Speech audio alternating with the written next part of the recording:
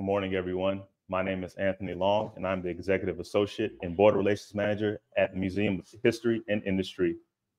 I would like to thank everyone um, for having me here. I would like to thank um, Tony B uh, for inviting us to take part in this great uh, exhibit, um, the Call to Conscience, the Black History Month Museum.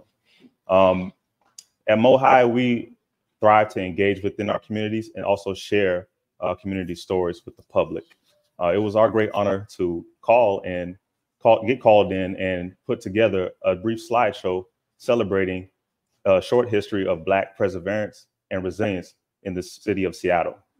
We chose this topic because it is fundamentally American in character and something that should be recognized and celebrated within the community. Uh, so once again, please uh, come down. We hope you enjoy the slideshow we put together. Um, every single photograph came from our collection. And if you have any questions or you would like to see it, we have a link where you can access them. Thank you.